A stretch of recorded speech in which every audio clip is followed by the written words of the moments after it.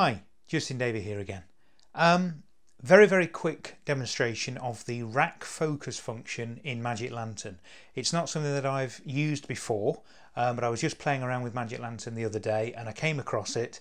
I was, aware, I was aware of it, but I'd never actually tried it, so I thought I would investigate it and, and get it working. And I, I'm really impressed with it. It's a really, really useful feature, especially if you want to continually rack between two points over and over again in a scene. It's very, very useful. You can change the step size, so the speed at which it racks. You can also change the time delay, so does the rack start as soon as you press the set button or does it say happen five seconds in? You can simply repeat the rack focus just by pressing the set button over and over again to repeat between uh, the two focus uh, points. Um, so I thought I would just go through a, a, very, very basic tutorial to show you how you can actually achieve it. So we're going to now jump over to a, a, an alternative video with me actually showing you how to achieve the result. Okay, so I'm now um, trying to film the uh, Magic Lantern screen. Uh, so apologies for the uh, poor quality. Um, but you can see um, my mouth. I've zoomed in, uh, I've only got an f4 lens on, so I've, I've, zoomed in quite considerably to, to try, try and create quite a short depth of field.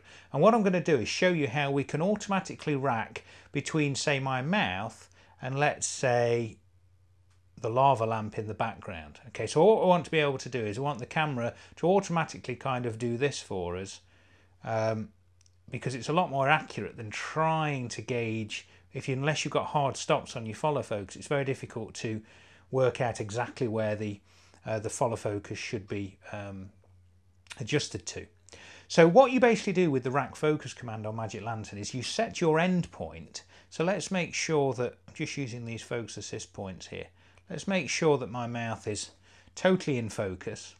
Um, and then what we're going to do is we're going to go into the Magic Lantern menu and we're going to go to the focus screen which we've got here.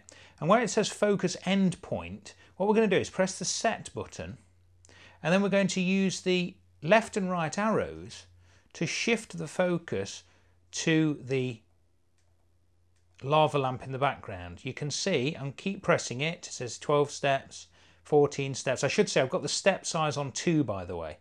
If you have it on 1 it can actually be a very very slow rack focus. So there we go.